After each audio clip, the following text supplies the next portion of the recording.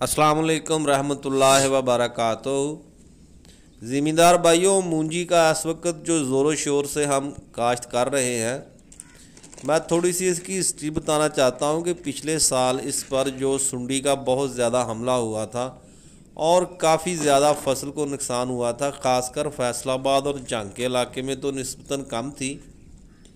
लेकिन नारोवाल वाली साइड पे जहाँ कसरत से चावल की काश्त होती है यानी कि मूंजी की काश्त होती है, वहाँ पर काफ़ी ज़्यादा नुकसान हुआ था। थोड़ी सी लापरवाही हम लोग कर जाते हैं, जिसकी वजह से हमें काफ़ी ज़्यादा नुकसान उठाना पड़ता है। यहाँ पर जिस ज़मीन में रेगुलर हर साल मूंजी की काश्त होती है, वहाँ पर दो दफ़ा, एक बीस दिन के बाद और एक चालीस से पचास दिन के बाद, या गोब आने तक, जब यह गोब नीचे से बांधता है ना, शुरू अपना तने में उस वक्त इसको दानेदार जहर या कोई भी जहर होती है ना, उसकी शदीद ज़रूरत होती है। पहली जो है वो नस्बता इतनी ज़्यादा ज़रूरत नहीं होती, क्योंकि पानी भी ज़्यादा मकदार में उस वक्त खड़ा रहता है। पहली जो होती है वो अक्सर होती है कि जड़ की सुंडी के लिए, जो आपने 40 और 45 दिन के बाद का अपना जहर डालनी है, उसका असर होगा जो आपके तने की सुंडी है। भबका भी हो जाता है, बाद का जो निकलती होती हैं ना वो सफ़ेद निकलती हैं।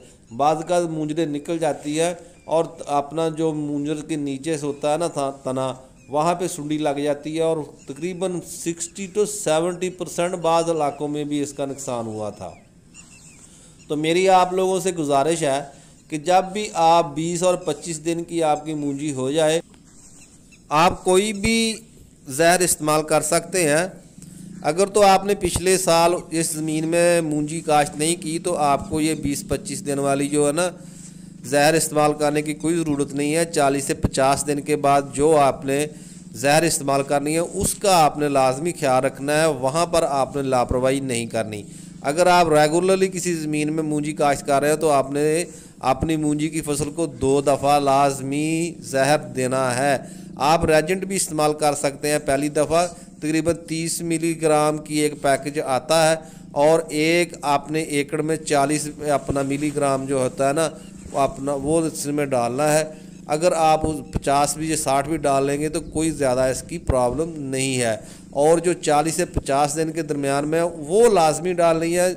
अगर वो नहीं डालेंगे तो आपकी फ़सल को काफ़ी ज़्यादा नुकसान पहुँचेगा। हो सकता है कि इसका असर ज़्यादा मौसम की सूरत हाल पर भी होता है। आने वाले दिनों में कैसा मौसम होगा जी हम नहीं जानते, ये अल्लाह ताला जानता है। आपने दो दफ़ा लाजमी जहर, लाजमी अपनी फ़सल को देना है। इससे आपकी पैदावार भी अच्छी होगी। उम्मीद है कि ये आपको वीडियो हेल्पफुल भी होगी। आपने इसको अच्छी तरीके से, जहनशीन भी कर लिया होगा। अल्लाह हाफिज़।